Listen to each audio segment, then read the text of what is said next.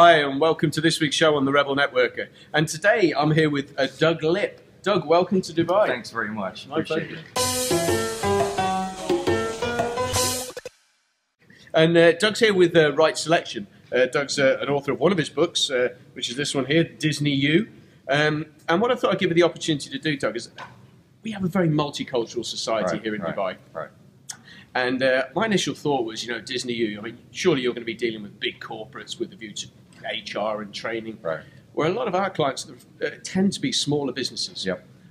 What would your message be for smaller businesses with a view to education and learning? Let me start off by saying that Disney U, yes, it represents a, a philosophy in a major corporation, but it's not about big. It's not about numbers of people. In fact, the founder of the Disney University was my mentor.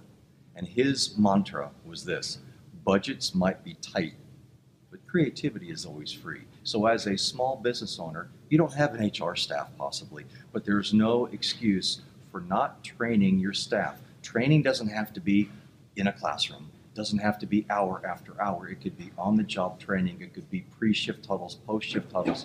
But if you're an entrepreneur and you want to build your business, especially with the multicultural environment here in Dubai and getting ready for Expo 2020, you must engage your employees at every level and do not let the size of the staff become an excuse for saying, I don't have the time to do that because you're the owner, you should be leading the charge. So, what would your message be? Because we actually see um, employees being put on training courses all the Right, time. right. And you did a great thing earlier on on stage where it's almost like, as the owner of the company, you know, it's like, I don't need this. I've got, I've got Right, people right, to do right, this. right, right. So, what would your message be to the bosses when you're set, when they are investing in their staff, but not necessarily being there themselves? Be there.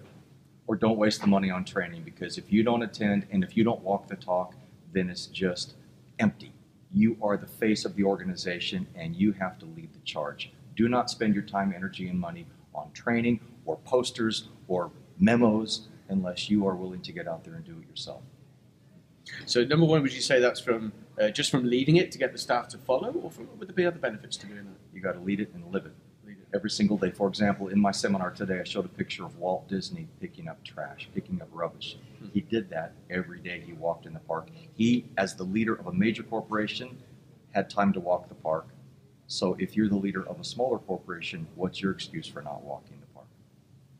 Anybody can do it. That's fantastic.